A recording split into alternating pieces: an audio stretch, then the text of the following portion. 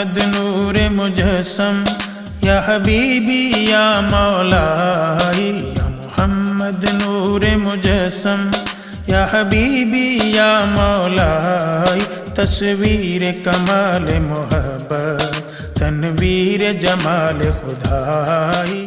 نحمده ونصلي ونسلم على سيدنا ومولانا محمد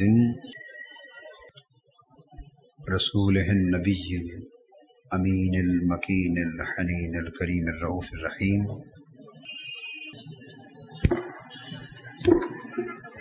أما بعد. أعوذ بالله من الشيطان الرجيم. بسم الله الرحمن الرحيم.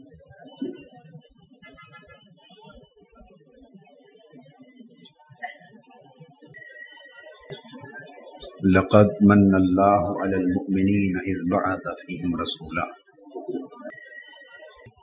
صدق الله مولانا العظيم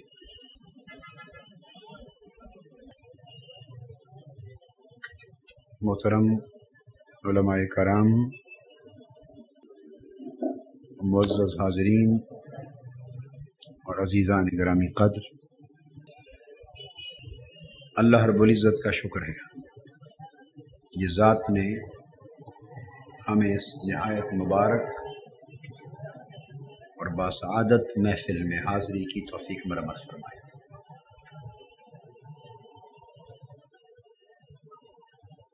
بلا تمہید میلاد مصطفیٰ صلی اللہ علیہ وآلہ وسلم کے عنوان سے منعقد ہونے والی اس کانفرنس اور اس اجتماع کے بنیادی مقصد کی طرف آنا چاہتا ہوں۔ اللہ رب العزت کو حضور نبی اکرم صلی اللہ علیہ وآلہ وسلم کا خوش ہونا خوش کرتا ہے۔ یعنی ہر وہ بات جس سے حضور علیہ السلاۃ والسلام خوش ہوں، راضی ہوں، اس سے اللہ خوش ہوتا ہے۔ اللہ راضی ہوتا ہے۔ اور اب دیکھنا یہ ہے کہ اللہ کی خوشی اور اللہ کی رضا کو حاصل کرنے کے لیے حضور علیہ السلاۃ والسلام کی خوشی مقصود ہے۔ اب سوال یہ ہے کہ حضور علیہ السلاۃ والسلام اپنی امت سے کب خوش ہوتے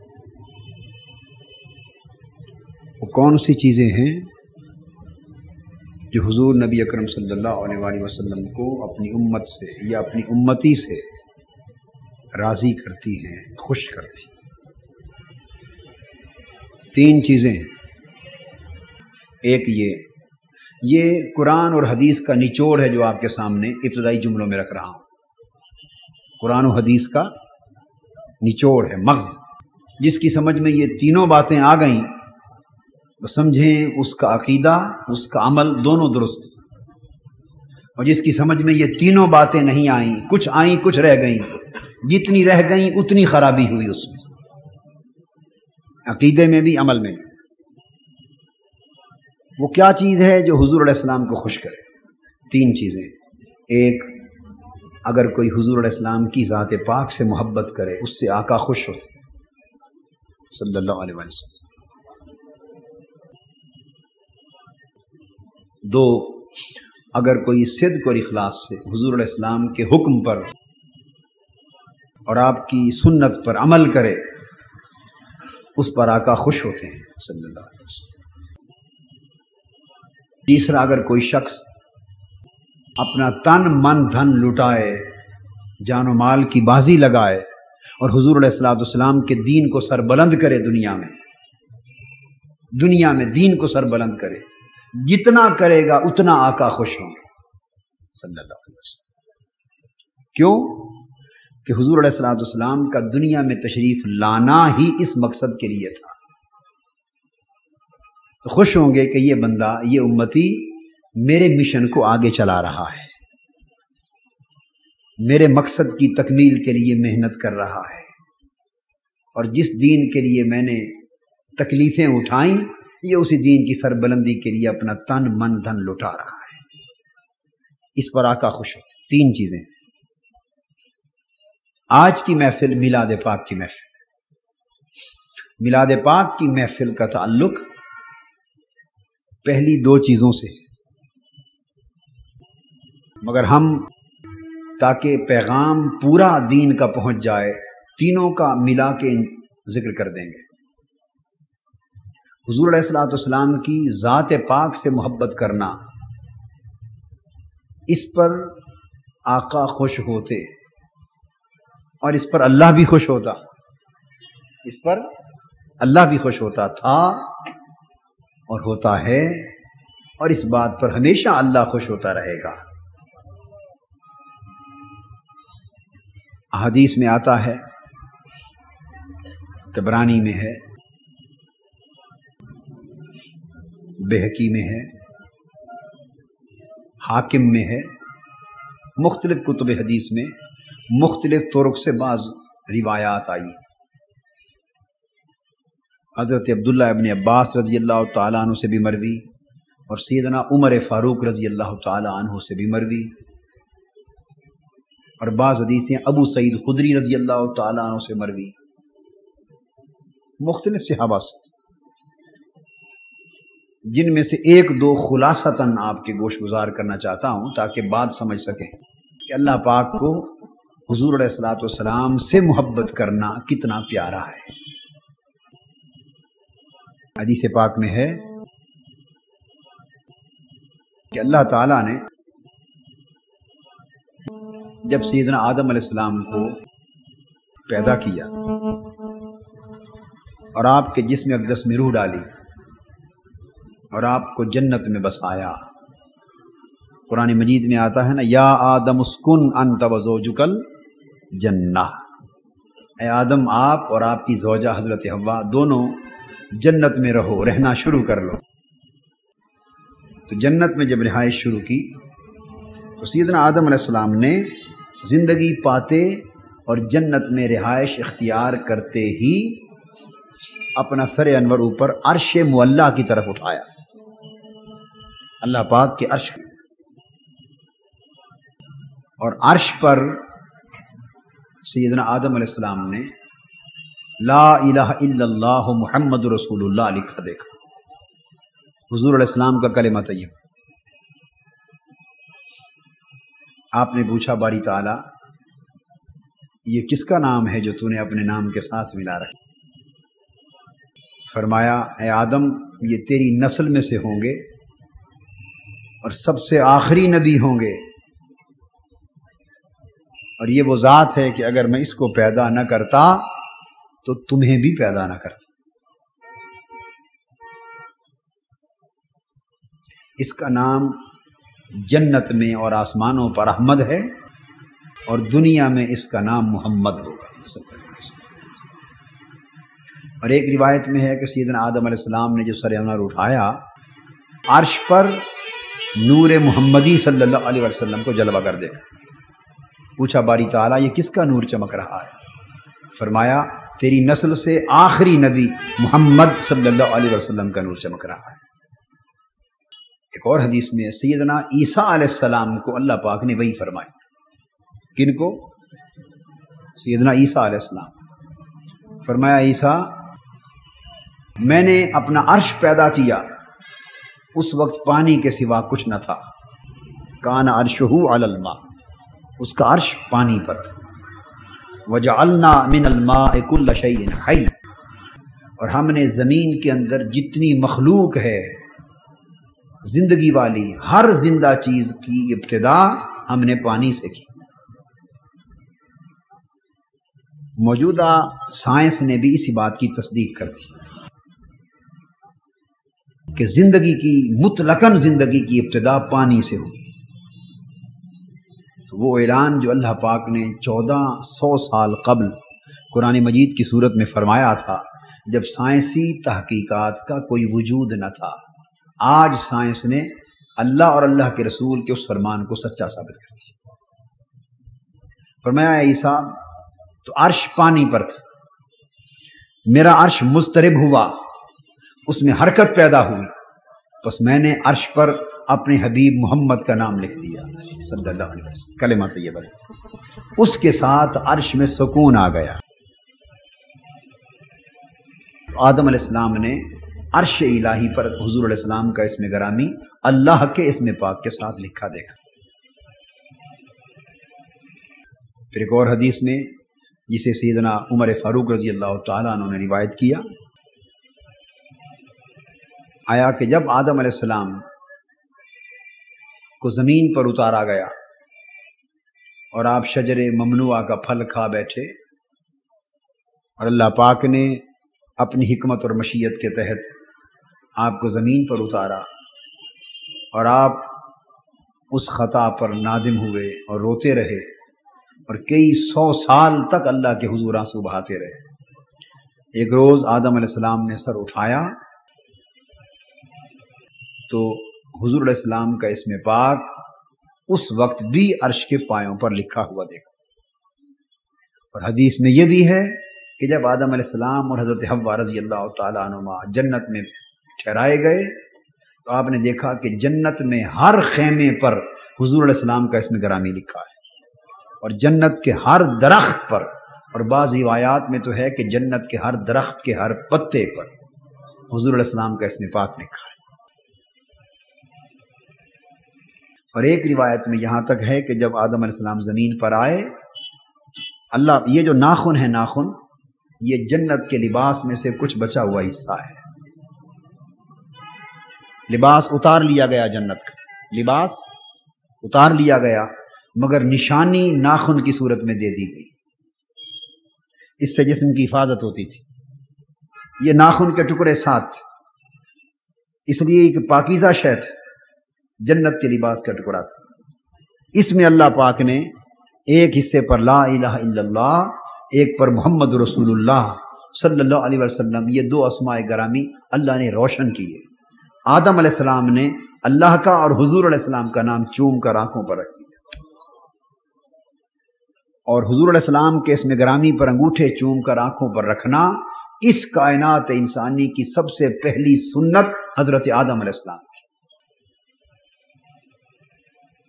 یہاں ایک دلچسپ بات آپ کے گوش گزار کر دوں، یہ ہماری حدیث کی کتابوں میں تو ہے ہی۔ مگر بڑی دلچسپ بات، عیسائیوں کی انجیل ہے، انجیل برنباس۔ کیا نام ہے انجیل؟ Gospel of Barnabas. وہ آج بھی موجود ہے۔ کسی زمانے میں عیسائی پادریوں نے، چونکہ اس انجیل میں توحید کا درس تھا تین خداؤں کی تعلیم نہ تھی۔ اور حضور علیہ السلام کی بے ست کا اور آپ کی شان اور کمالات کا کثرت سے ذکر تھا۔ اس انجیل کو غائب کر دیا، چھپا دیا اور بائبل میں شامل نہ ہونے دیا۔ صدیوں بعد اٹلی کے ایک عجائب گھر سے اس انجیل بر نواس کا ایک قدیم نسخہ مل گیا، جس کے ترجمے بھی ہوئے اور وہ یونانی زبان میں بھی اور مختلف دنیا کی پرانی اور جدید زبانوں میں انجیل برنباس اب دنیا میں موجود ہے آج۔ مگر آج کی عیسائی دنیا اور عیسائی جوان اور عیسائی پادری اس انجیل سے واقف نہیں۔ جب انہیں بتاتے ہیں ہم مغربی دنیا میں جا کر تو حیرت زدہ ہو جاتے ہیں۔ یہ برنباس جنہوں نے اس انجیل کو ترتیب دیا تھا، یہ سیدنا عیسیٰ علیہ السلام کے صحابی تھے۔ عیسیٰ علیہ السلام کے صحابی تھے اور اس برنباس نامی صحابی کا ذکر آج بھی بائبل کے اندر موجود دوسری انجیلوں میں موجود ہے۔ برنباس کا ذکر آج بھی جو انجیلیں بائبل میں ہیں، جن کو وہ مانتے ہیں، ان میں آج بھی صحابی بر نباس کا ذکر موجود ہے۔ اب میں نے پورے حوالے سمجھا دیے آپ تو ذکر موجود ہے، مگر اس بر نباس کی انجیل ان کی بائبل سے خارج تھی۔ اب وہ انجیل برنباس برآمد ہو چکی، آج نہیں، صدیوں سے صدیوں سے۔ اس انجیل برنباس میں نہ وہ کسی محدث کی کتاب ہے، نہ وہ کسی عالم کی لکھی ہوئی تصنیف ہے، نہ کسی بریلوی کی کتاب ہے، نہ دیوبندی کی، نہ وہابی کی، نہ شیعہ کی۔ انجیل ہے عیسیٰ علیہ السلام کی کتاب، جس کو ان کے صحابی برنباس نے مرتب کیا۔ اس انجیل بر نباس میں بھی آدم علیہ السلام کا اس میں مصطفیٰ کو چوم کر آنکھوں پر رکھنے کا واقعہ درج۔ یہ اتنا بڑا حوالہ ہے جو ہمارے علماء کتابوں میں نہیں لے سکے۔ ہماری کتابوں میں یہ نہیں پایا جاتا۔ مگر کتنی بڑی صداقت اور حقانیت ہے، خاص طور پر حضور علیہ السلام کے ان عاشقوں اور غلاموں کے لیے جو آقا کا اسم پاک سن کر محبت سے آنکھوں پر رکھتے ہیں اور چومتے ہیں۔ ان کے لیے کتنی بڑی تقویت ایمانی کی چیز ہے کہ یہ عمل اس پر لوگ بحثیں کرتے ہیں۔ یہ تو سیدنا عیسیٰ علیہ السلام کا بیان کردہ۔ اور آدم علیہ السلام کی سنت۔ اور کتابوں میں یہ بھی درج ہے کہ یہ حضور علیہ السلام کے اس میں پاک پر انگوٹھے چوم کر آنکھوں پر رکھنا حضرت خضر علیہ السلام کی بھی سنت۔ جن کی سنت؟ خضر علیہ السلام۔ تو تین باتیں پرانی بتا دی میں نے۔ حضرت آدم علیہ السلام کی سنت، سیدنا خضر علیہ السلام کی سنت، اور انجیل بر نباس میں ہونے کا مطلب یہ کہ سیدنا عیسیٰ علیہ السلام کا بھی فرمان۔ تو جب عیسیٰ علیہ السلام بیان کر رہے ہیں، تو خود اس میں مصطفیٰ چوم کر آنکھوں پہ نہیں رکھتے ہوں گے؟ جب انجیل میں خود بیان کر رہے ہیں، تو خود نہیں چومتے ہوں گے؟ کیسے ممکن ہے کہ نبی ایک بات بیان کرے اور جد الانبیاء، سیدنا آدم علیہ السلام کی سنت کا تذکرہ کرے اور خود عمل نہ کرے۔ بیان کرنا اور عمل نہ کرنا، آپ کا اور ہمارا کام تو ہو سکتا ہے، ہم یہی کرتے پھرتے ہیں۔ بیان کچھ کرتے ہیں، عمل کچھ کرتے ہیں۔ قول اور عمل میں تضاد ہے، مگر انبیاء کی شان یہ نہ تھی۔ مگر یہ ساری بات اس کا پس منظر کیا ہے؟ حضور علیہ السلام کی ذات سے محبت۔ اب ان چیزوں پر آج کے زمانے میں لوگ مناظرے کرتے ہیں، بحثیں کرتے ہیں جگڑتے ہیں۔ بدت ہے، ناجائز ہے، حرام ہے معذ اللہ کیا ہے؟ یہ ساری بحثیں ختم ہو جاتی سب بحثیں ختم ہو جاتی اگر ایک بات سمجھ میں آ جا یعنی حضور علیہ السلام کا اس میں پاک چومنا، آنکھوں پر رکھنا پہلی امتوں سے چلا آ رہا ہے، بنی اسرائیل میں۔ کہاں؟ بنی اسرائیل میں موسا علیہ السلام کی امت میں۔ کسی زمانے میں ایک شخص تھا، تو رات پڑھتا تھا، پرانی کتابیں۔ اور اس کی عادت تھی، چونکہ انبیاء سے سن رکھا تھا، انبیاء سے، کہ حضور علیہ السلام کا اس میں گرامی جہاں آتا، پڑھ کے اس کو چوم لیتا۔ جہاں اس میں پاک محمد صلی اللہ علیہ وسلم آتا، اسے پڑھ کر چوم لیتا۔ جب اس کی موت واقع ہو گئی، تو بنی اسرائیل کے بزرگوں میں سے یا نبیوں میں سے، اللہ کے نیک بندوں میں سے کسی نے دیکھا اس کی بخشش ہو گئی اور اللہ نے اس کو اعلیٰ درجات سے نوازا۔ تو خواب دیکھنے والے نے پوچھا بھائی تمہیں اتنا بڑا درجہ کس عمل سے ملا؟ اس نے کہا، سیدنا محمد مصطفیٰ، نبی آخر و زماں کا اس میں پاک چومنے سے ملا۔ اب، ان چیزوں پر ایک بحث ہوتی ہے کہ یہ حدیثیں ضعیف ہیں، روایتیں ضعیف ہیں، ساری بحثیں پھر فن حدیث کے جواب آتے ہیں۔ میں جو نقطہ سمجھانا چاہتا ہوں، اس بحث میں اس وقت نہیں پڑھ رہا، علمی مسئلہ ہے۔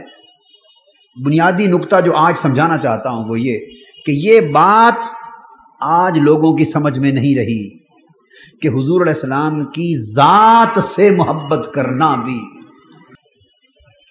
ذات سے محبت کرنا اپنی جگہ اللہ کو اور اللہ کے رسول کو راضی کرنے کا ایک سبب ہے۔ اب حضور کی سنت مبارکہ پر عمل کرنا دوسری بات، جس کا میں نے ذکر کیا، سیرت طیبہ کی پیروی کرنا۔ حکم کی اطاعت کرنا، اتباع کرنا، پھر دین اسلام کی سربلندی کے لیے بازی لگا دینا اپنی جان کی، تو ہر مقام، ہر چیز کا ایک اپنا مقام ہے۔ ہر چیز کا ایک اپنا مقام ہے۔ ہمارے ہاں تنگ نظری اتنی بڑھ گئی ہے کہ ایک بات کو مانتے ہیں تو دوسری کا انکار کر دیتے اس کو مانتے ہیں تیسری کا انکار کر دیتے ہر ایک کا اپنا مقام ہے۔ روٹی کی جگہ پانی نہیں لے سکتا۔ پانی کی جگہ کھانا نہیں لے سکتا آپ کو پیاس لگی ہو اور آپ کو لوگ روٹی پیش کر دیں، بریانی تناول فرمائیں۔ آپ کہہ رہے ہیں، میں پیاس سے مر رہا ہوں۔ دھوپ میں آیا ہوں، صحرا کا سفر کر کے، زبان باہر ہے، پیاس ہے، مجھے پانی چاہیے۔ آپ کہیں جی پانی بھی مل جائے گا۔ پہلے آپ بریانی تناول فرمائیں، کھانا کھائیں، مرغا کھائیں۔ اسے اس وقت مرغے اور گوشت سے غرض نہیں ہے، کیونکہ اس کا کام جو پانی سے اس وقت ہو سکتا ہے۔ وہ کھانے اور روٹی سے یا سالن سے نہیں ہو سکتا۔ اس طرح جب ایک آدمی کو بھوک ہے، شدت کی بھوک، آپ اسے خالی پانی دے دیں۔ وہ کہے گا، نہیں، اس وقت مجھے بھوک ہے، کھانے کی طلب تو جس طرح انسان کے جسم کو مختلف ضرورتیں ہوتی اور ہر ضرورت کو پورا کرنے کے لیے الگ الگ شے ہوتی اور ہر شے کی اپنی جگہ ایک اہمیت ہے، مقام ہے نظر انداز نہیں کرتے، مگر ہر جگہ ہر شے کی اپنی ایک تاثیر ہوتی اس طرح ایمانی اور روحانی ضرورتیں بھی کہیں ایمان کی ایک ضرورت سیرت طیبہ کی پیروی سے پوری ہوتی، خالی محبت سے پوری نہیں ہوتی۔ اور کہیں ایمان کی ضرورت عمل سے نہیں، اس وقت ذات پاک سے محبت کے ذریعے پوری ہوتی۔ تو محبت کے ذریعے جس ایمان کی ضرورت ہوتی ہے، یہ اس کا اپنا مقام ہے۔ عمل اور اتباع کے ذریعے جس شے کی ضرورت پوری ہوتی ہے، اس کا اپنا مقام ہے۔ اور دین کی سربلندی کے لیے جہاد کرنا، تن من دھن کی بازی لگانا۔ جو ضرورت ایمان کی اس عمل سے پوری ہوتی ہے، وہ اس کا اپنا مقام۔ اگر یہ بات سمجھ میں آ جائے، تو میرا اپنا خیال ہے، پچاس فیصد مسلکوں کے اور فرقوں کے جھگڑے ختم ہو جائیں۔ پچاس فیصد جھگڑے ختم ہو جائیں، اگر اتنی بات بنیادی طور پہ سمجھ میں آ جائے۔ مگر ہمارا زاویہ نگاہ دین کے بارے میں جزوی بن گیا ہے، کلی نہیں رہا۔ کیا؟ جزوی بن گیا ہے۔ ایک جز کو پورا دین بنا لیتے۔ کلی نہیں رہا۔ اور اگر کلی نگاہ ہو دین پر، ہر ہر جز کی اہمیت اپنی جگہ سمجھیں اور مانیں، تو آدھے پچاس فیصد جھگڑے امت کے اندر مسلکوں کے ختم ہو سکتے۔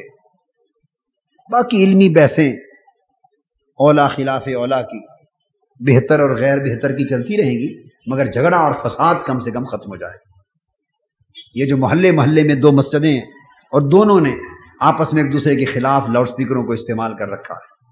اور عام نوجوان جو دین سے دور جا رہا ہے، وہ معذ اللہ لاؤڈ سپیکر کے جھگڑے، جمعوں پر تقریروں کے جھگڑے، خطابات کے جھگڑے، آپس کے مذہبی حلقوں کے فسادات سن کر مزید متنفر ہوتا چلا جا رہا ہے۔ دینی حلقوں کو دھیان کرنا چاہیے۔ کہ دین کا ہر جز اپنی جگہ اہم ہے۔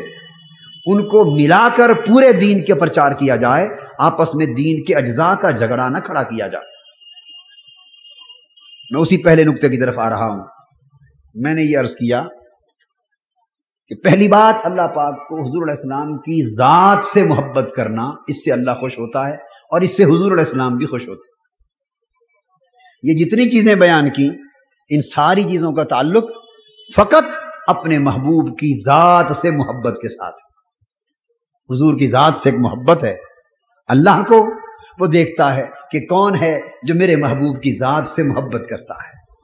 جو اس کو اپنی محبوب کی ذات سے محبت کرتا نظر آتا ہے، اللہ اس سے پیار کرتا ہے۔ اور حضور بھی اس سے خوش ہو جاتے ہیں۔ صلی اللہ علیہ وآلہ وسلم۔ اب یہاں ایک آپ کو مثال دیتا ہوں تاکہ بات اور سمجھ میں آ جائے۔ آپ کا بیٹا ہے۔ اولاد ہے، چھوٹے بچے ہیں۔ دو چار، پانچ، چھ سال، آٹھ، دس سال کے بچے ہوتے ہیں۔ آپ کو بحثیت والدین اولاد سے محبت ہوتی اب دو آدمی ہیں، دو۔ ان میں سے ایک بڑا نیک، بڑا سالے بڑا متقی ہے، مگر آپ کی اولاد سے اس کو پیار نہیں۔ آپ دیکھتے ہیں کہ یہ میری اولاد سے محبت نہیں کرتا، بس واجبی سا تعلق رکھتا ہے، واجبی سا۔ مگر جس کو ایک محبت چاہیے، وہ نہیں رکھتا۔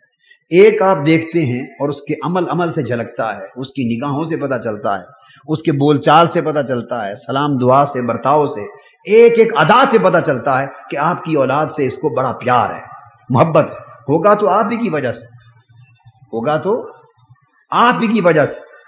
مگر ایک آپ سے عقیدت پوری رکھتا ہے، اولاد سے غرض نہیں رکھتا۔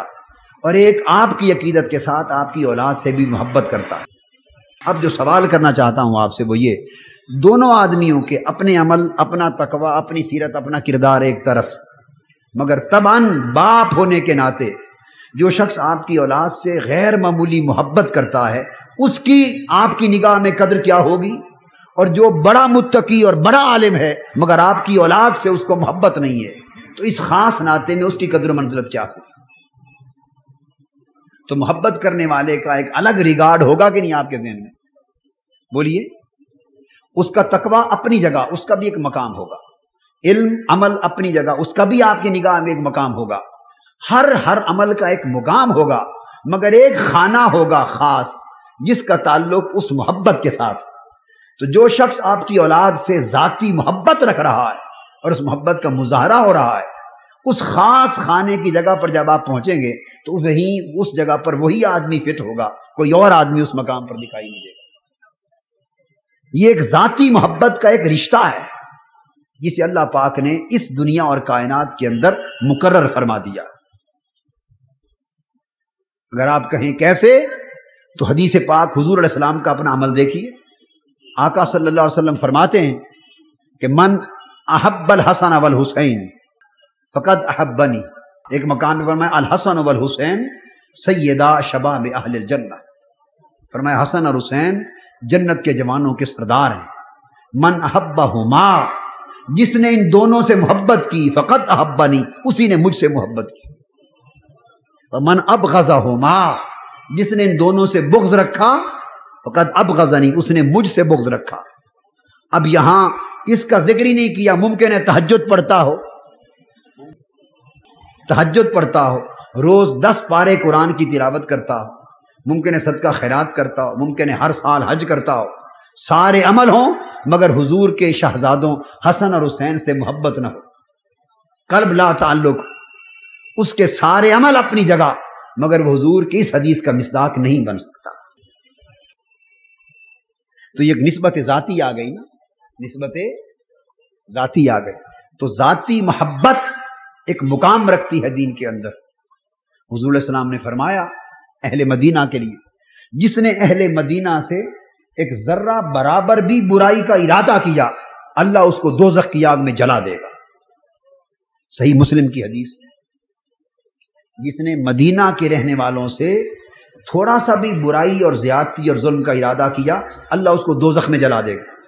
اب مدینہ سے وہ زیادتی کا ارادہ کرنے والا بے شک نماز پنجگانہ کا پابند ہوا کرے تحجد پڑھے، صدقہ خیرات کرے بے شک دین کا مبلغ کہلائے، واعظ کہلائے، مدرس ہو، جو کچھ کرے، مگر اس کو مدینہ کے مکینوں سے محبت نہیں اور ان پر زیادتی کرتا ہے، اس کی ساری عبادتیں بھی غارت گئیں اور خود بھی جہنم میں گیا۔ اب یہ کیا چیز ہوئی؟ مدینہ والوں سے محبت کرنا۔ اس میں اور تو کچھ نہیں ہے نا؟ فقط اس نسبت کی ایک محبت۔ اس نسبت کی ایک محبت۔ یہ نقطہ سمجھانا چاہتا ہوں کہ جب ان نسبتوں سے ذاتی محبت اللہ کی بارگاہ میں مقبول اور حضور کی بارگاہ میں مقبول۔ اور ان نسبتوں سے ذاتی عدم محبت محبت کا نہ ہونا حضور علیہ السلام کی بارگاہ میں مردود اور اللہ کی بارگاہ میں مردود۔ تو جب حال یہ ہے، تو پھر حضور علیہ السلام کی ذات سے محبت کا درجہ کیا ہوگا؟ تو آقا کتنے خوش ہوں گے؟ اب اس پر دو تین حدیثیں بیان کرنا چاہتا تاکہ محفل میلاد کا مقصود کیوں محفل میلاد منعقد ہوتی؟ یہ نقطہ سمجھا رہا ہوں۔ حضور علیہ السلام کی نعت پڑھی جاتی، نثر میں بھی، زبان میں بھی، کلام نظم میں بھی۔ پہلے نظم میں حضور علیہ السلام کی نعت پڑھی گئی۔ اب میری کوئی سر ہوتی اور اچھا نعت خان ہوتا، یہ شرف اللہ نصیب کرتا، میں بھی سر میں آقا کی نعتیں پڑھتا۔ مگر ہمارا نصیب نہ تھا کہ ہم اس شرف سے بہرا یاب ہوں۔ نثر میں عام بات چیت کے انداز میں ٹوٹی پھوٹی صحیح، بہت اچھی نہ صحیح، مگر جو کچھ کہہ رہا ہوں میں بھی آقا کی نعت ہی سنا رہا ہوں۔ آپ حضور علیہ السلام کی نعت ہی سنا رہا ہوں۔ آقا کا ذکر بیان ہو رہا ہے، نعت ہے۔ آقا کے گن گائے جا رہے، آقا کی محبت کے نغمے الاپے جا رہے، یہ بھی حضور کی نعت ہی ہے، صلی اللہ علیہ وسلم۔ محفل میلاد میں یہی کچھ ہوتا۔ مقصود اس کا کیا ہے؟ تاکہ تاکہ سننے والوں کو حضور علیہ السلام کی ذات سے محبت کا سبق ملے۔ وہ آقا کی ذات سے محبت کرنا سیکھیں۔ اور سننے والوں کو اور بیان کرنے والوں کو ایسا ذکر سن سن کر ان کے دلوں میں آقا کی ذات کی محبت پیدا ہو۔ محبت کا سبق ملے اور محبت دلوں میں پیدا ہو۔ اور پھر اس کے ساتھ اگلا پیغام حضور علیہ السلام کی سیرت طیبہ اور سب حسنہ کی اتباع کا ملے۔ اور سالسن حضور کے دین کو سر بلند کرنے کے لیے جہاد کرنے کا سبق ملے۔ تو اس ترتیب سے محفل میلاد کے یہ مقاصد ہوتے ہیں۔ پہلا مقصد اولی مقصد ہوتا ہے۔ اولی مقصد۔ اس پر حدیث پاک میں کیسے حضور صلی اللہ علیہ وآلہ وسلم کے دور میں صحابہ کرام اس پر عمل کرتے اور کس طرح آقا خوش ہوتے، صلی اللہ حدیث پاک میں حضرت عباس بن عبد المطلب رضی اللہ تعالیٰ عنہ، حضور علیہ السلام کے چچا ہیں۔ چچا ہیں آقا۔ حسائے کبرا میں ہے تبرانی میں ہے اور حدیث میں ہے۔ حضور علیہ السلام کی بارگاہ میں حاضر ہوئے حضرت عباس بن عبد المطلب۔ اور حدیث میں ہے کہ اجازت مانگی، کہا، حضور اجازت ہو تو آپ کی نعت پڑھوں؟ سبحان اللہ۔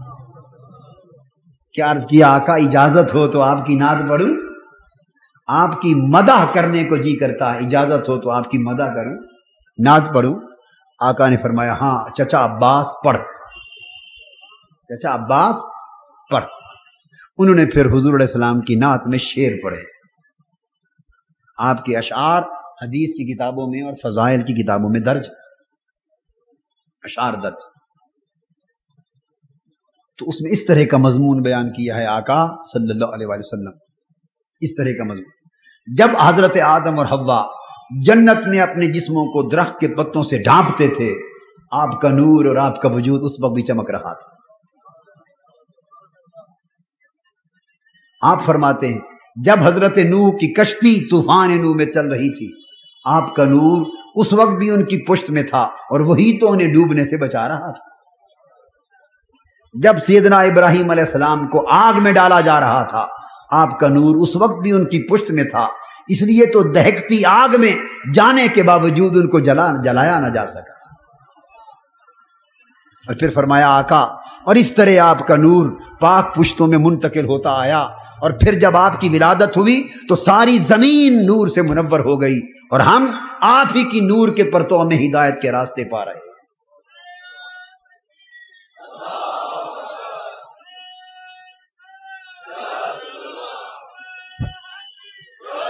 رضی اللہ تعالی۔ اب یہ میں نے جو مضمون سنائے، یہ کس کی نعت کے مضمون ہیں؟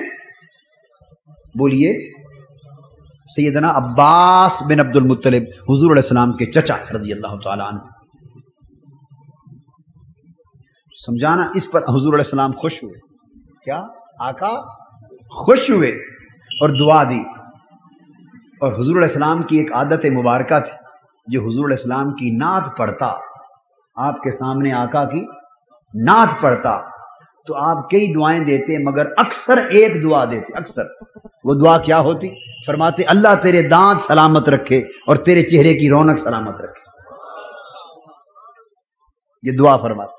سبحان تیرے دانت سلامت رکھے اور تیرے چہرے کا حسن اور تیرے چہرے کی رونق قائم دائم رہے۔ اس میں دو چیزوں کا اشارہ ہوتا کہ حضور کی نعت پڑھنے والے دانت سلامت رکھے، تیری طویل عمر ہو۔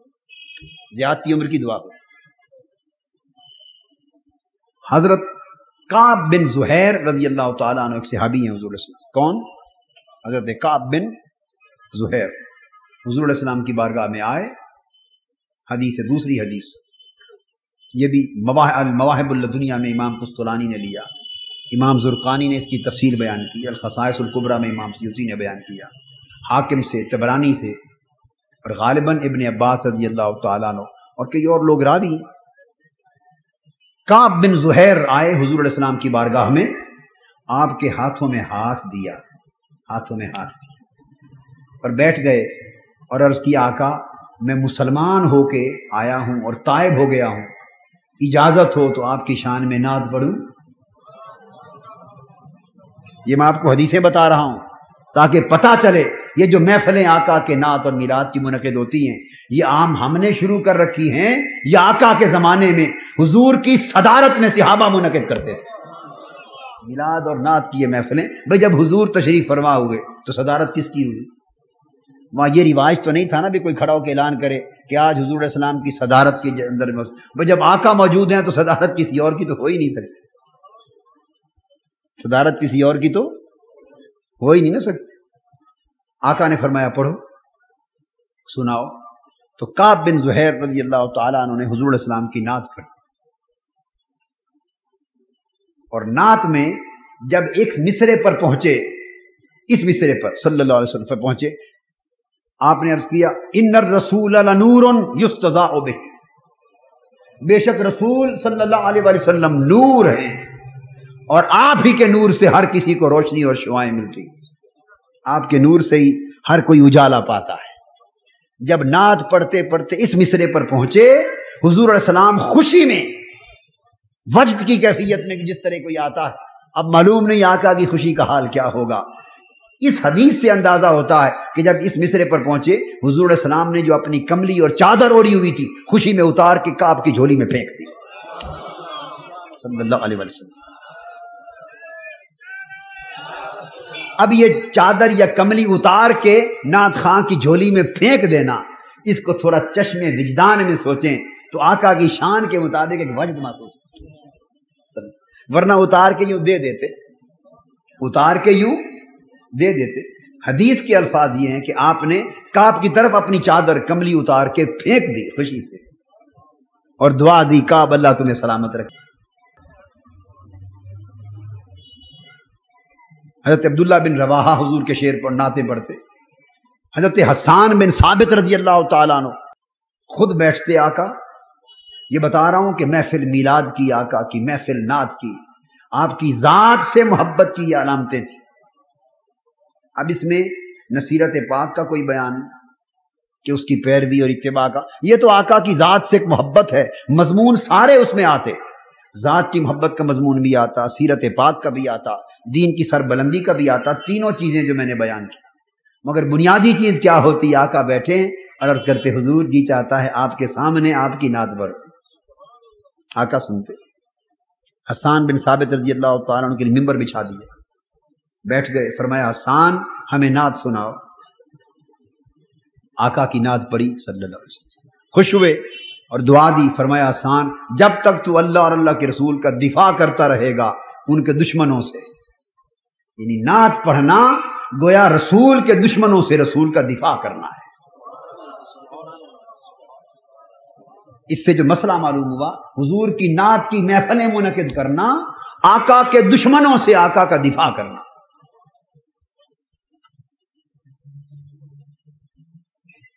اور آپ سوچتے ہوں گے بھائی یہاں آقا کا دشمن کون ہے؟ آقا کا دشمن کون ہے؟ میں آپ کو بتاتا ہوں، کوئی دشمن کے منہ پہ تو نہیں لکھا ہوتا کوئی دشمن ہے۔ اور نہ کوئی یہ ہوتا ہے کہ وہ اس طرح کی دشمنی کر رہا ہے جب آپس میں ایک دوسرے کے دشمن ہوتے ہیں۔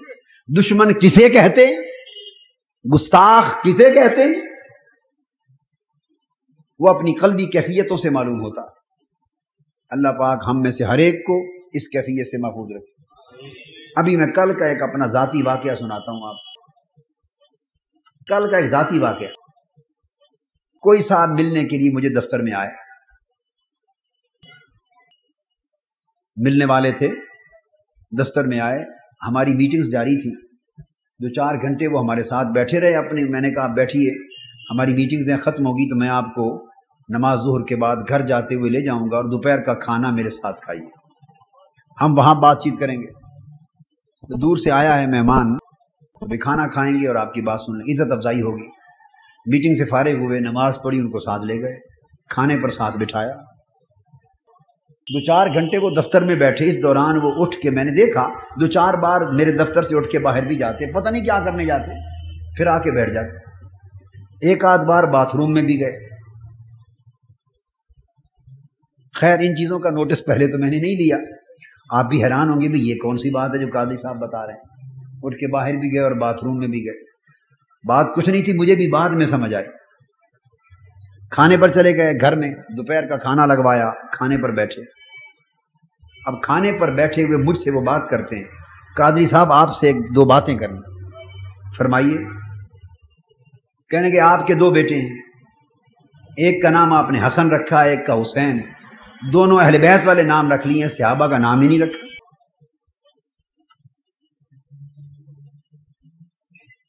میں نے کہا، آپ کو اچھے نہیں لگے یہ نام؟ آقا کے شہزادوں کے نام، حضور کی اس اولاد پاک کی نسبت سے اگر دو بچوں کے رکھے ہیں، اچھے نہیں لگے۔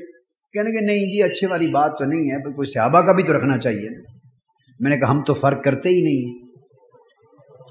ہم تو فرق، اگر یہ صحابہ کے حسن اور حسین اہل بیت بھی ہیں اور صحابی نہیں رضی اللہ تعالیٰ عنہ صحابی نہیں۔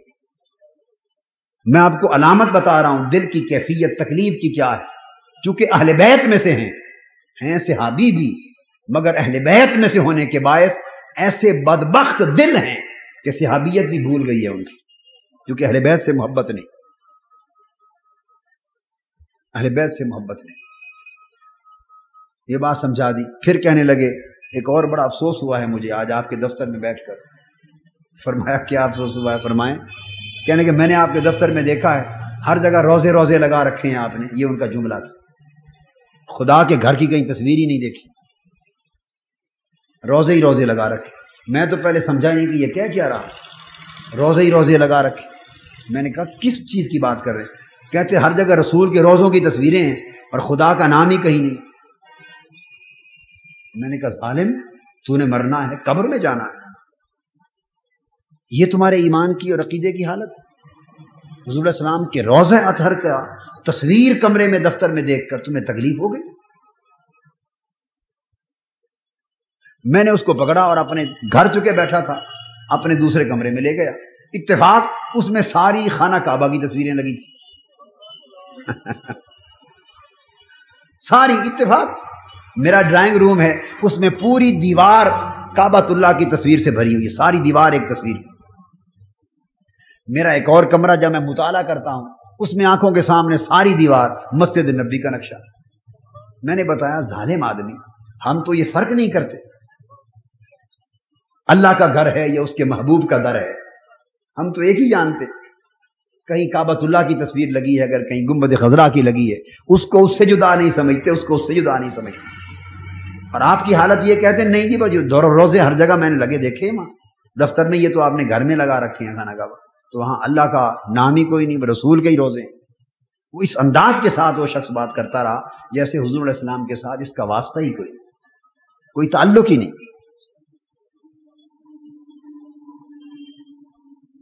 خیر، بڑا دکھ ہوا۔ اور اس کی گفتگو اور اس کے کیفیات کو سن کر بڑا درد ہوا۔ بڑی کوفت ہوئی طبیعت میں کہ یہ کلمہ گو ایسے بھی ہیں دنیا میں کہ سوچ کا یہ رخ۔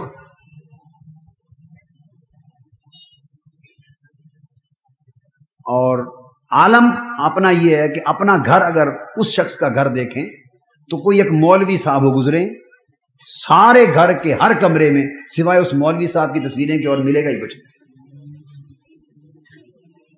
یعنی عرض یہ کرنا چاہتا ہوں کہ اپنے مولویوں کی تصویریں لگی ہوں درست، اپنے بزرگوں کی تصویریں لگی ہوں درست۔ فلمی ایکٹرسوں کی تصویریں ان کے لڑکوں نے لگا رکھی ہوں کمروں میں درست، مگر روزہ رسول کی تصویر پر تکلیف ہو بے ہو میں نے کہا اچھا اب سمجھ آئی، وہ باتھ روم آپ اٹھ کے کیوں جاتے تھے بار بار؟ آپ برداشت نہیں کر سکتے یعنی یہ کیفیت علامت بتائی ہے کہ کوئی حضور علیہ السلام کی محبت کا تذکرہ ہو، شان کا تذکرہ ہو، آقا کی ذات پاک سے محبت ہو، اہل بیت پاک سے محبت ہو، خاص صحابہ کرام سے محبت ہو یعنی جہاں جہاں محبتوں کی جگہیں ہیں، جو شخص اس محبت پر اپنے اندر ایک کیفیت، تکلیف کی، گھٹن کی، پریشانی کی محسوس کرتا ہے، اس کی گھٹن کی کیفیت سے محسوس کر لو کہ اس کا ایمان اس جگہ خراب ہے۔ اہل بیت سے محبت کرنے والے سن لیں کہ جہاں اہل بیت سے محبت حق ہے، وہاں حضور کو اپنے صحابہ کرام سے بھی اسی طرح پیار ہے۔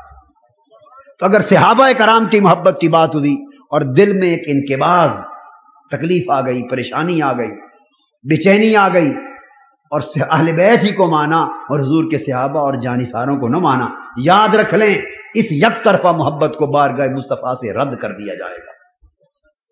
اور صحابہ سے محبت کی اور صحابہ سے پیار کیا اور صحابہ کے نعرے لگائے اور آقا کی اہل بیت اور حسن اور حسین جن کو آقا زبان چسواتے رہے اور کندھوں کی سواریاں دیتے رہے ان سے دل کو ٹھنڈک محسوس نہ ہوئی تو صحابہ سے پیار کے نعرے اللہ اور اس کے رسول کی بارگاہ سے مردود کر دیے جائیں گے قبول نہیں کیے جائیں ایک تصور ہے اگر حضور کی ذات سے محبت ہے تو جو شے حضور سے منسوب ہے اس سے بھی محبت ہے مومن تو وہ ہے ہم تو صحابہ اور اہل بیت میں فرق کرتے صحابہ اور اہل بیت میں فرق کرتے مومن تو وہ ہے کہ جو حضور کی گلیوں کا کتا ہے، وہ اس کتے سے بھی پیار کرتا۔ کہ نسبت حضور کے شہر سے ہو گئی۔ ایمان ایک ایسی محبت کی کیفیت ہے جس کو سمجھنا بڑا ضروری۔ تو میں یہ عرض کر رہا تھا۔ حضور صلی اللہ علیہ وآلہ وسلم نے صحابہ سے جو نعت گو تھے اور نعت خان تھے اور حضور کی ذات کی تعریف کرتے مدہ کرتے، نعت کرتے، محفل منعقد کرتے اور خوش ہوتے اور دعا دیتے۔ ایک صحابی ہیں، ان کا اس میں گرامی ہے حضرت نابغا جعدی رضی اللہ تعالیٰ عنہ۔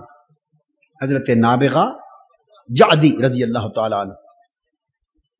بہت بڑے شاعر اور نعت گو تھے۔ حدیث میں آتا ہے، حضور السلام کی بارگاہ میں آئے، بیٹھے، عرض کی آقا، اجازت ہو تو حضور کی نعت پڑھوں۔ اجازت ہو تو آقا حضور کی نعت پڑھوں۔ فرمایا، نابغہ پڑھو نعت۔ انہوں نے حضور علیہ السلام کی قصیدہ ناتیہ پڑھا۔ کیا پڑھا؟ ناتیہ قصیدہ پڑھا۔ اور صحابہ سے مروی ہے کہ تقریباً دو سو اشعار پر مشتمل وہ نعت ناتیہ قصیدہ تھا۔ کتنے اشعار پر؟ دو سو اشعار پر مشتمل وہ ناتیہ قصیدہ تھا۔ آقا نے سنا۔ اور جب نعت ختم ہوئی تو حضور نے دعا دی۔ وہ دعا جس کے کلمات میں نے بتائے۔ فرمایا، نابغا، اللہ تیرے دانت سلامت رکھے۔ اور اللہ تیرے چہرے کی شکل نہ بگاڑے۔ اللہ تیرے چہرے کی شکل نہ بگاڑے، تیرے چہرے کا حسن سلامت رکھے۔ اور تیرے دانت سلامت رکھے۔ دو دعائیں دی۔ کتنی دعائیں دی؟ دو دعائیں دی۔ قربان جائیں آقا، آپ کی خوش ہونے پر۔ اب یہ بات سمجھانا چاہتا ہوں۔ آپ خواہش کیا کریں اللہ کی بات کہ حضور کو خوش کرنے کے لیے ایسے کچھ کام کریں، محنتیں کریں کہ آقا خوش ہوں اور اتنے خوش ہوں کہ کبھی اس خوشی میں حضور کی زبان پاک سے دعا نکل جائے۔ کام بن جائے۔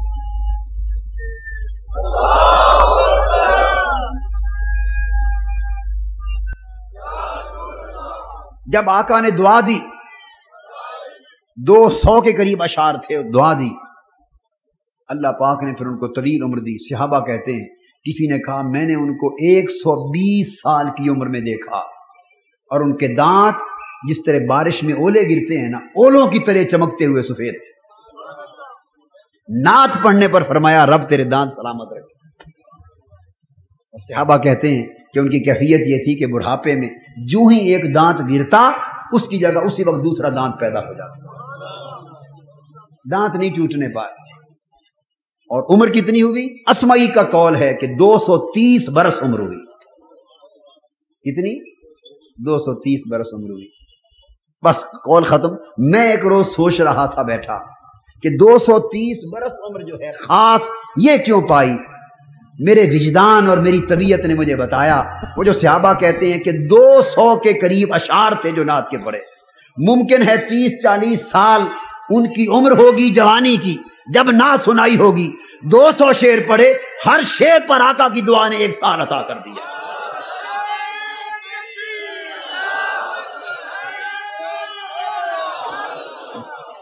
دو سو شیر پڑے دو سو سال کی عمر بڑھ گئی۔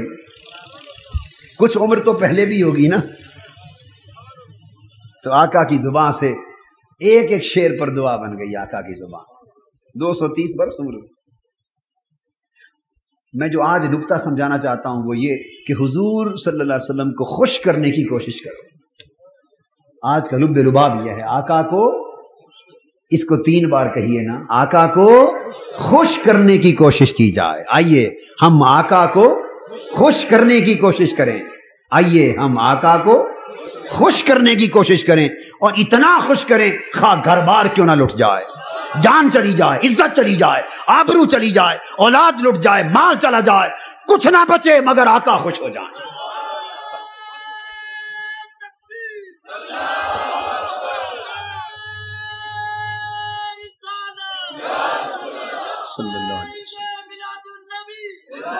اور اتنا ہی فرما دینا اس امتی پر خوش ہو کر اللہ تمہیں سلامت رکھے۔ اتنا فرما دیں اچھا تو نے مجھے خوش کیا، اللہ تمہیں خوش رکھے۔ اتنا فرما دیں اور بڑا ہی کرم کر دیں، تو نے مجھے خوش کیا، آج تمہیں اپنے کتوں میں شامل کرتا۔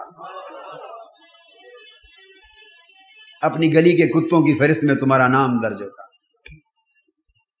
اور جن پر خوش ہوتے، ان پر لطف و کرم کی کیفیت کچھ اور حضرت جامی جب آقا کی بارگاہ میں حاضر ہوتے اور سلام عرض کرتے، واپسی کا الوداعی سلام عرض کرتے حضور کو، فارسی ان کی زبان تھی، تو اندر سے جواب آتا وہ علیکم السلام کے ساتھ۔ آقا فرماتے، جامی خوش روی و باز آئی۔ جامی خوش رہ اور پھر بھی آنا ہمارے پاس۔ جامی خوش رہ، پھر بھی آنا، اگلے سال پھر آنا۔ پھر آتے اگلے سال۔ اٹھارہ بار حاضری دی۔ جب اٹھارہویں سال حضور کی بارگاہ میں سلام عرض کیا، تو جواب آیا، جامی خوش روی۔ جامی خوش رہنا۔ اور یہ نہ فرمایا کہ پھر آنا۔ بس رو پڑے، سمجھ گئے کہ زندگی کی آخری حاضری تھی۔ اب ایک واقعہ حضور علیہ السلام کا خوش ہو کر دعا کا سنانا چاہتا خوش ہو کر دعا کا ایک واقعہ۔ بہت کم کتابوں میں آیا ہے، زیادہ نہیں آیا بہت مدت پہلے میں نے خطبہ جمعہ میں ایک مردہ بیان کیا تھا۔ پرانی کیسٹیں کسی نے سنی ہو تو شاید ان کو یاد ہو، مگر کتابوں میں زیادہ نہیں آیا، کم آیا۔ علی صحابہ میں امام اسکرانی نے بیان کیا ہے۔ امام جامی نے نفات النس میں بعض کتب میں ذکر ہے ان کا۔ قلیل ذکر۔ ہندوستان کا ایک گاؤں ہے بٹھنڈا۔ نام سنا ہے نا؟ جی؟ بٹھنڈا۔ ابھی ایک محاورہ مشہور ہے کہ جو بی اے اور ایم اے کر لیتے ہیں یا ڈگریاں لے لیتے ہیں یونیورسٹیوں کی یا دین کی، مدرسے کی، فارغ التحصیل کی اور آتا جاتا کچھ نہیں وہی ڈگریاں لے لیتے ہیں۔ ان کو کہتے ہیں وایا بٹھنڈا اس نے پاس کیا ہے۔ وایا ہم جیسے کانا کاچا ہے ہمارا، اس طرح وایا بٹھنڈا پاس کیا مطلب یہ ہے کہ بس محنت کے بغیر یوں ہی بس کام کر لیے۔ بٹھنڈا ایک گاؤں ہے۔ خدا جانے یہ محاورہ کیسے چلا وہاں سے۔ وہاں حضور علیہ السلام کے ایک صحابی ہو گزرے۔ ہندی صحابی، ہندوستان کے۔ ان کا نام ہے بابا رتن ہندی۔ بابا رتن انہوں نے سات سو سال عمر پائی۔ آقا کی امت میں سب سے زیادہ عمر پانے والے سات سو برس انسانوں میں بابا رتن ہندی۔ یہ حضور علیہ السلاۃ والسلام کا جب بچپن تھا، اس وقت بابا رتن ہندی کی جوانی تھی۔ یہ انڈیا سے شام کے ملک میں تجارت کے لیے جاتے تھے۔ بابا رتن ہندی جب صحابی ہو گئے، وہ واقعہ بعد میں آتا ہے۔ تو کچھ لوگ ان کے پاس سات سو سال پھر آقا کے بعد عمر پائی۔ کچھ لوگ ان کے پاس آئے اور ان سے کہا کہ آپ اپنے مسلمان ہونے کا واقعہ سنائیں۔ ہندو تھے بھئی آپ کیسے مسلمان ہوئے؟ کیسے صحابی بنے؟ وہ اپنی زبان سے روایت کرتے، اپنا واقعہ اسلام قبول کرنے کا بیان کرتے۔ وہ فرماتے ہیں، بابا رتن اندی کہ میں جوان تھا۔ ملک شام کی طرف تجارت کے لیے جا رہا تھا اور مکہ سے گزر ہوتا تھا ہمارا۔ مکہ سے گزر ہوتا تھا۔ جوانی کا زمانہ تھا۔ کہتے، مکہ کے قریب ایک وادی تھی۔ مکہ کے قریب ایک وادی۔ وہاں مکہ والے قریشی لوگ یا دیگر مکہ کے لوگ بکریاں چراتے تھے، تھوڑی سرسبز وادی تھی۔ وہاں سبزہ تھا، ہرا بھرا مقام تھا۔ بکریاں چراتے تھے۔ وہاں ایک نہر بھی گزرتی تھی، پہاڑی نالے جو ہوتے ہیں، اس طرح پہاڑی نالے تھے۔ کہتے ہم اس جگہ سے گزرے، سخت بارش ہو رہی تھی۔ پہاڑی نالے بھر کے بہ رہے تھے۔ کہتے میں نے دیکھا، ایک چھوٹی سی عمر کا بڑا معصوم، بڑا خوبصورت چودہویں رات کے چاند سے بھی زیادہ حسین۔ نو، چھوٹا معصوم بچہ بکریاں چرا رہا ہے۔ بکریاں چرا رہا ہے۔ اور میں نے دیکھا کہ بکریاں کود کر چھلانگ لگا کر آگے گزر گئیں۔ اور وہ چونکہ بڑا نالا ہے، معصوم چھوٹا بچہ ہے، چھلانگ نہیں لگا سکتا، پانی بھر کے بہ رہا ہے۔ وہ اس کنارے پر کھڑا ہے۔ کسی کی انتظار میں بھی کوئی آئے تو مجھے اٹھا کے اس نالے کے پار پہنچا۔ کہتے ہمارا نصیب کہ ہم وہاں جا پہنچے۔ میں سمجھ گیا، میں نے پوچھا اس خوبصورت حسین سے، میں نے پوچھا کہ کہ آپ نے نالا پار کرنا ہے؟ اشارے سے وہ عربی بولتے تھے۔ ہم ہندی، ہندوستانی زبان تھی، ہندی۔ وہ سمجھ گئے، اشارہ سر ہلایا جی ہاں۔ میں نے اپنے کندھوں پہ اٹھایا، پیار کیا اور نالا پار کروا دی۔ اور پار کروا کے اتارا۔ وہ کہتے ہیں کہ میں ان کی زبان تو نہ سمجھا، مگر اس حسین معصوم بچے نے اپنی زبان میں، عربی زبان میں مجھے دعا دی، اللہ تیری عمر دراز کرے۔ اور کہتے میں ان کے ساتھ ہو گیا اور یہ جملہ انہوں نے سات بار دہرایا۔ اللہ تیری عمر دراز کرے، اللہ تیری عمر دراز کرے، اللہ تیری عمر دراز کرے۔ سات بار دعا دی۔ ہم چلے گئے اور سوچتے ہی رہ گئے، کیا حسین بچہ اور کیا خوبصورت عادات۔ نالا پار کروایا اور سات بار درازی عمر کی دعا کر رہا ہے۔ بچوں میں اتنا شعور تو نہیں ہوتا، کوئی غیر معمولی معاملہ۔ چلے گئے، کہتے ہیں پر مدت گزر گئی۔ اس کے بعد اس واقعے کو سمجھیں، پچاس سال گزر گئے۔ اندازہ زمانہ بیت گیا۔ بابا رتن ہندی کہتے ہیں کہ جنگل میں ہم ایک روز اپنے گاؤں میں، بٹھنڈا میں بیٹھے تھے۔ چودویں رات کا چاند چمک رہا تھا۔ اچانک دیکھا کہ چاند دو ٹکڑے ہو گئے۔ اور تھوڑی دیر کے بعد چاند کے دونوں ٹکڑے مل گئے۔ ایک عجیب تشویش ہوئی، ایک عجیب حیرت ہوئی کہ یہ کیا واقعہ ہوا۔ جس سے پوچھیں، اتنا تو کوئی لوگ بتائیں کہ چاند ٹکڑے ہوا تھا، یہ سبب معلوم نہ ہو کہ کیا ہے۔ کہتے ہیں، ایک روز عرب سے کچھ تاجر آئے انڈیا میں عرب کے تاجر۔ ان سے پوچھا، وہ مکہ کے لوگ تھے۔ انہوں نے کہا ہاں مکہ میں قریشیوں کا ایک جوان محمد نامی صلی اللہ علیہ وسلم ہے۔ اس نے نبوت کا دعویٰ کیا ہے۔ بڑے بڑے موجزات دکھاتا ہے۔ اور اس سے مطالبہ کیا کافروں نے کہ اگر آپ سچے نبی ہیں تو اس چودہویں رات کے چاند کو اشارہ کر کے ٹکڑے کر دیں۔ اس نے پہاڑ کی چوٹی پر بیٹھے تھے، انگلی کا اشارہ کیا، ان شکل کمر چاند کے ٹکڑے ہو گئے۔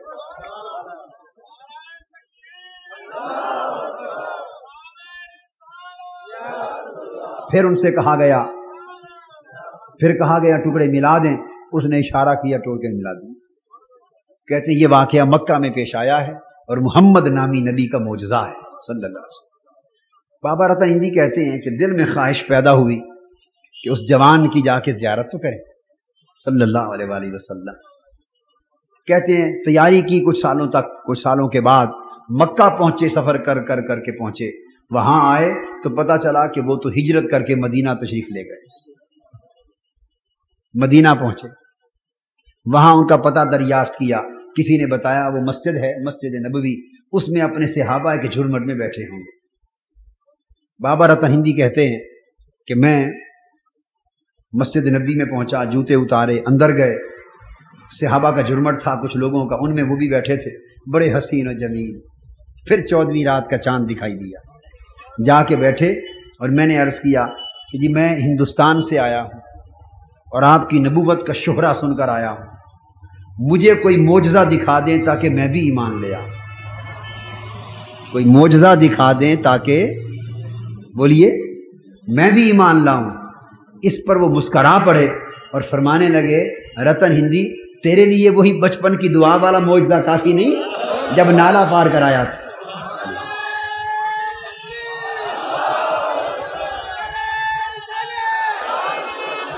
وہی معجزہ کافی نہیں ہے؟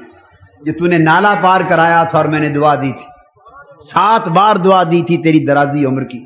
وہ پوری ہوگی اس قدموں میں گر پڑے۔ اسلام قبول کر لیا۔ کہتے ہیں پندرہ دن حضور علیہ السلام کی بارگاہ میں رہے۔ جہاد میں حصہ لیا، واپس پلٹے۔ جانا دوبارہ نصیب نہ ہوا، مگر بچپن میں آقا خوش ہوئے تھے۔ نکتا کیا سمجھا رہا تھا؟ کندھے پر اٹھا کر نالا پار کر آیا اتنا عمل تھا، بس۔ ابھی ایمان بھی قبول نہیں کیا تھا، کافر تھے اس وقت۔ روزے نہیں رکھے، نمازیں نہیں پڑھے، حج نہیں کیا۔ ابھی وقت آیا ہی نہیں مسلمان ہونے کا۔ اور آقا کی نبوت کا اعلان بھی نہیں ہوا۔ بچپن کا زمانہ ایک نالا پار کر آیا کندھے پہ اٹھا کر۔ دعا دی، خوش ہو کر۔ اللہ تمہیں سلامت رکھے۔ ہر دعا کے کلمہ پر سو سال ملے۔ سات سو سال عمر ہوئی۔ تو آج کی گفتگو کا لب لباب یہ ہوا کہ محنت کرو۔ جوانوں، مسلمانوں، بچوں، بہنوں، بھائیوں، اتنی محنت کرو کس کام میں؟ حضور کو خوش کرنے میں۔ بس، باقی ساری باتیں اس کے اندر آ جاتی۔ تھوڑی سمجھداری سے کام لو۔ اس جملے میں میں نے سب کچھ کہہ دیا۔ اتنی محنت کرو ہر اس کام میں جس میں آقا خوش ہو جائے۔ اور اتنے خوش ہوں کہ کبھی خوش ہو کے کہہ دیں، جا تو سلامت رہے۔ تو نے ہمیں خوش کیا، رب تمہیں خوش رکھے۔ بس اس میں سب کچھ آ جائے۔ اب جہاں یہ بات میں نے بتائی کہ آقا کو خوش کرنا مقصود زندگی بنا لیا جائے بس، باقی ہر شے اس کے نیچے کر دے۔ اگر ساری دنیا ناراض ہو جائے اور ایک حضور خوش ہو جائیں، خدا کی عزت کی قسم سودا سستا ہے۔ ساری دنیا ناراض ہو جائے۔ ایک آقا خوش ہو جائیں، صلی اللہ علیہ وسلم۔ سودا سستا ہے۔ مجھے اس کا غم نہیں ہے کہ بدل گیا زمانہ۔ میری زندگی ہے تم سے، کہیں تم بدل نہ جانا۔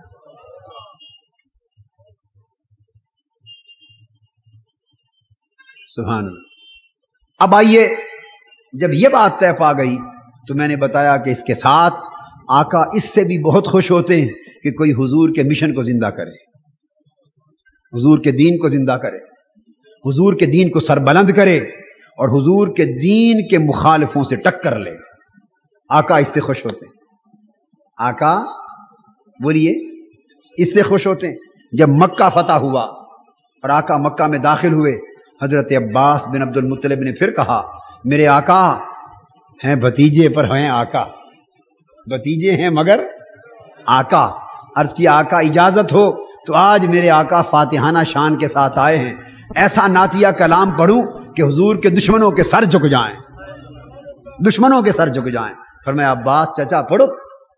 انہوں نے پھر اپنے کلام میں حضور کے دشمنوں کو چیلنج کیا۔ چیلنج کیا۔ حضور خوش ہو کے دعائیں دیتے رہے۔ پھر حضور کے نعرے لگے، آقا خوش ہو کے دعائیں دیتے رہے۔ آج جہاں حضور کی ذات اور حضور کے اعمال سے محبت کرنے کی ضرورت ہے، وہاں یاد رکھ لیں اسی طرح ان سے بھی بڑھ کر حضور کے دین سے محبت کرنے کی ضرورت ہے۔ اور آقا کے دین کو زندہ رکھنے کے لیے، آقا کے دین کو سر بلند کرنے کے لیے ضرورت اس امر کی ہے۔ اے کلمہ گو مسلمانوں، آپ کا تن من دھن اور ہمارا تن من دھن لٹ جائے، مگر آقا کا دین زندہ ہو جائے۔ حضور اس سے بڑے خوش ہوں گے۔ چونکہ اس وقت دین پر حملے ہو رہے ہیں۔ بس یہ میرا آخری پیغام تھا۔ اور گفتگو ختم یہاں پہ کرتا ہوں کہ امت مسلمہ کے جیالو، دین کو زندہ کرنا، مال کی قربانی اور جان کی قربانی اور وقت کی قربانی اور عزت و آبرو کی قربانی کے بغیر ممکن نہ ہوگا۔ چار قربانیاں چاہیں، وقت دو دین کے لیے، مال دو دین کے لیے، جان دو دین کے لیے اور ہر قسم کی عزت و آبرو کی قربانی دو۔ اللہ پاک حضور علیہ السلام کی نمازشات اور کرم نوازیاں اور اپنی رحمت اور مدد نسخت سے ہم سب کو نوازے۔ وما علینا یا محمد نور مجسم، یا حبیبی، یا مولائی۔ یا محمد نور مجسم، یا حبیبی، یا مولائی۔ تصویر کمال محبت، تنویر جمال خدا۔